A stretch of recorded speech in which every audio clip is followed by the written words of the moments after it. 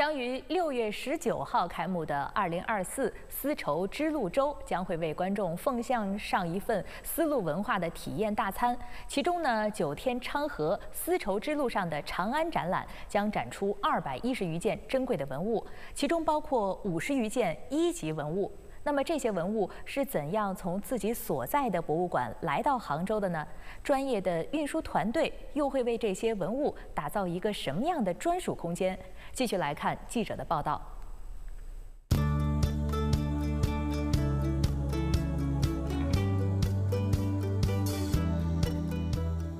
空气悬挂，它就是气垫减震啊。充分的将这个路途的颠簸过滤掉，在文物包装箱全部装车以后，它会启动空调系统，保持这个车厢内部与库房温度相适宜。三百六十度无死角这个这个监控系统，车载定位系统，如果说有一个开门的情况下，它有一个光感的一个测定，啊，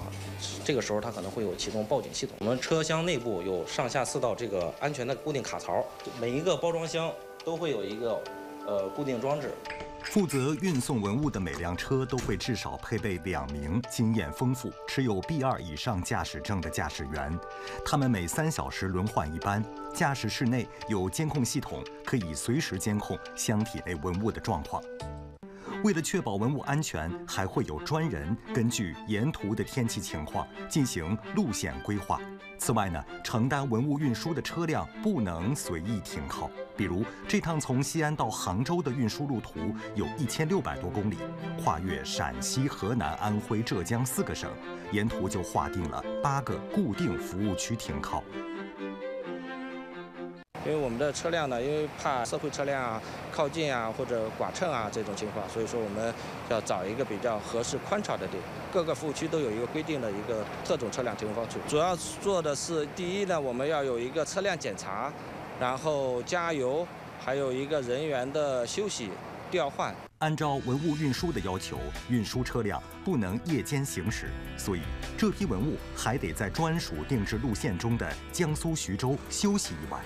从安全性角度，运输团队把休息的地方选择在了全封闭的徐州博物馆。要停到博物馆的一个摄像头的范围之内，我们徐州博物馆的安保人员可以随时的看得见。车后方呢是一个门，门是所以说要抵在这个墙的位置，然后这个整体的就不会再打开了。呃，我们的恒温恒湿机呢，它是独立式的，所以说跟车辆熄火以后，它不会造成任何影响。历经停靠、补给、休整，这批从陕西历史博物馆出发的文物，在第二天下午顺利抵达了浙江杭州，